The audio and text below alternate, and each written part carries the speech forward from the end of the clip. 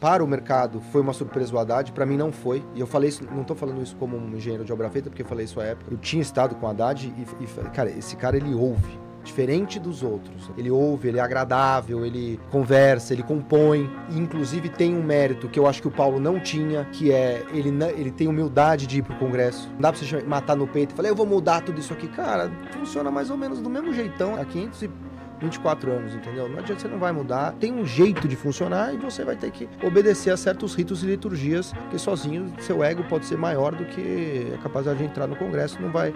Eu já não estou dizendo que o Paulo não, que ele seja tão bom economista, mas uma coisa é você ser economista, uma coisa diferente é você ser ministro, que por definição é um caso político, uhum. não é um cargo acadêmico. E acho que o Haddad tem feito um ótimo trabalho, mas por outro lado todo o governo empurra na outra direção também. Então você fica com boas notícias vindas do Haddad e do Congresso.